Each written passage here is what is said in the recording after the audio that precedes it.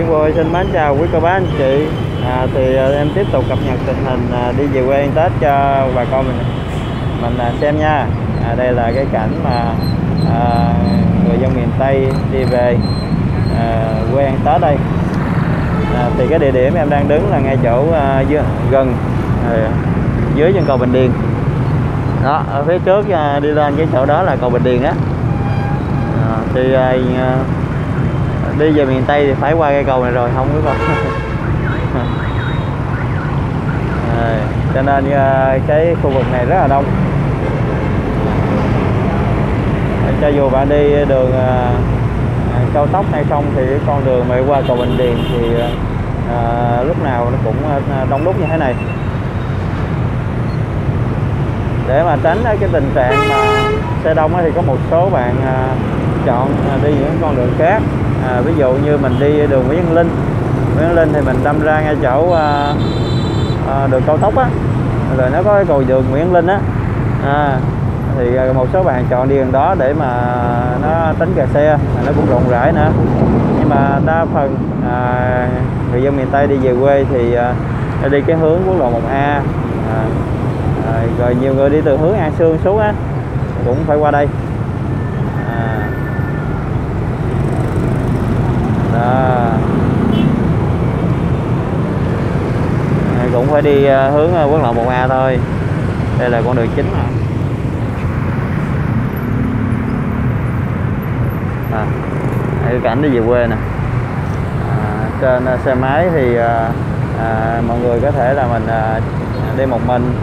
Rồi có người thì chở à, vợ à, về thêm một người nữa. Rồi có người thì chở vợ và chở con về.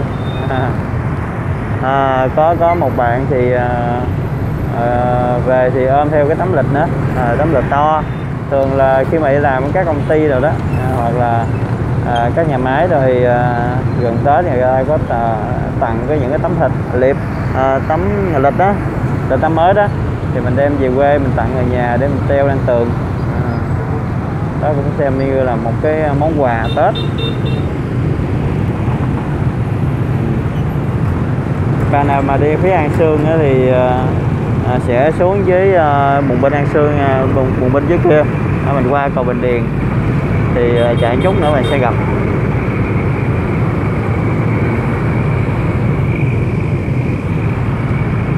À, xe bắt đầu lên cầu đó. À, đây à, có xe container chạy nè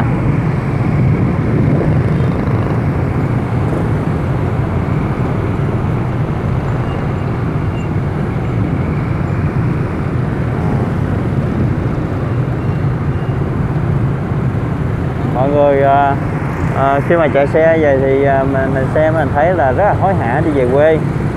À, người xa đi xa đi gần gì không biết à, nhưng mà rất là náo nức là mong chờ được về quê. À, tại vì đi làm ở Sài Gòn á à, lâu lâu mới có cái dịp nghỉ hai ba ngày để mình đi về mình thăm nhà. Có nhiều bạn trẻ thì à, nhớ má. À, à, có nhiều thanh niên thì về quê thăm người yêu. À, đó. Đây xe thì bây giờ là xe có máy lạnh rồi có wifi à, wifi miễn phí. À.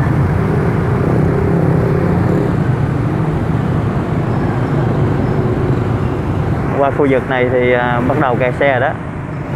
Xe chạy à, từ từ à, không quá nhanh.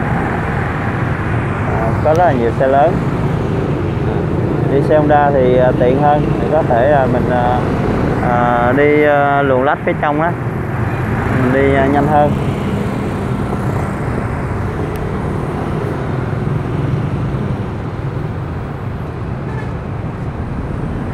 À, có một cái chiếc xe đi vào làng phía trong nè à, vượt lên nè. À, xe nào mà cũng đầy nhóc người hết. Đó. Đâu có xe nào ít đâu còn cái làng bên kia đường á là cái làng mà đi từ miền tây đi lên á thì rất là vắng. À, không có kẹt xe xe thư thả chạy.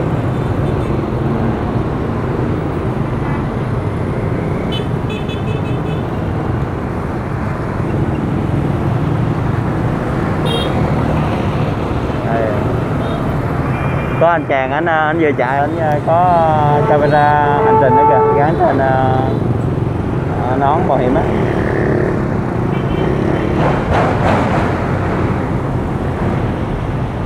Đông ghê.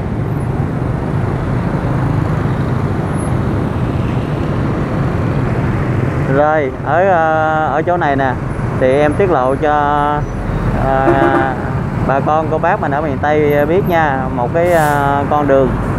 À, thì thay vì mình đi đường truyền thống đi đường quốc lộ a thì à, qua cái cầu à, qua cái cầu à, Bình Điền này thì à, các bạn à, nên à, quẹo bên à, phải.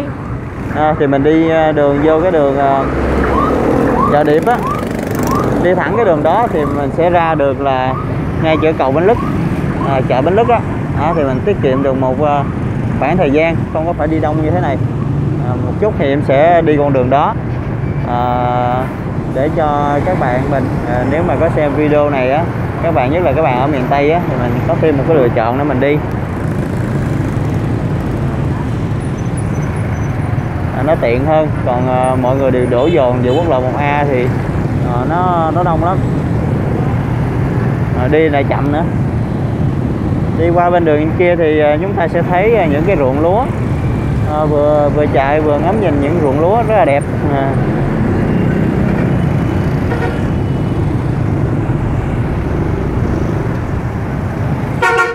càng về chiều thì lượng xe đổ về. Miền Tây càng ngày càng đông à, tại vì có nhiều bạn à, là phải đi làm buổi sáng thứ bảy đó. Cho nên à, à, đi làm về rồi mới phải chuẩn bị đồ à, rồi mới đi về quê. À,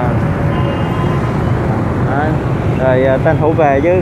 Hôm nay là ngày nghỉ đầu tiên rồi bữa nay buổi chiều là coi như là xong ngày rồi.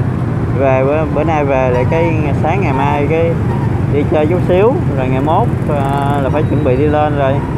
Thứ hai đi lên thứ ba làm. À, cho nên là rất là hối hả. À, ai cũng muốn về cho nhanh. À, để mà ăn những bữa cơm gia đình ở quê hương. Ăn uh, tô canh chua của mẹ nấu à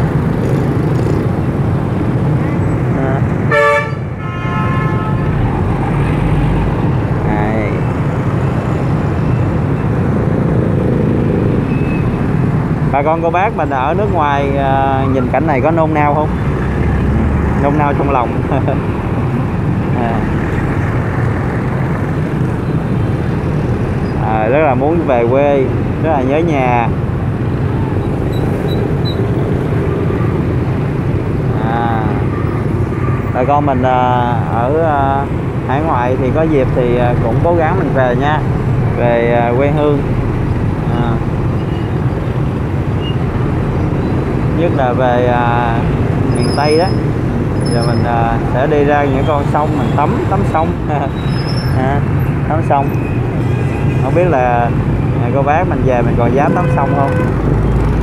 À, rồi à, mình leo lên những cây dừa mình thấy dừa à, uống cái dừa xiêm rất là ngọt rất là mát.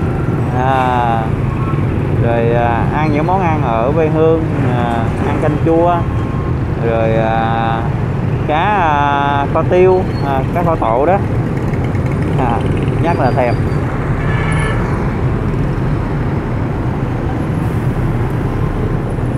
Xe đông. À, à, đi về miền Tây thì chắc là phải à, đi ngang qua Tiền Giang để ghé Tiền Giang mình à, ăn một tô à, hủ tiếu Mỹ Tho. À, có nhiều bạn thì à, cầm lịch rồi. Những cái tờ lịch đem về. À, có những người thì đi đơn giản lắm. Họ xách một cái ba lô nhỏ. Thì bây giờ thì à, nói chung là cũng dễ hơn ngày xưa rồi. Hồi xưa mà đi về quê thì ai cũng xách theo nhiều cái quà đó. Đặc biệt là bánh mì nha. Đi ra bến xe miền tây là phải mua bánh mì sài gòn.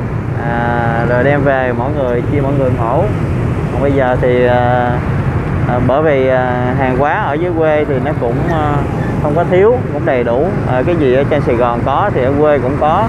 À, cho nên à, nhiều khi à, trong túi có tiền là đem về chạy gần tới nhà đó. À, tấp vô chợ hay là cái chỗ nào đó mua à, đem về thôi làm quà thôi chứ không có cần phải chuyển từ Sài Gòn đi nó mệt. À, nó chật chội.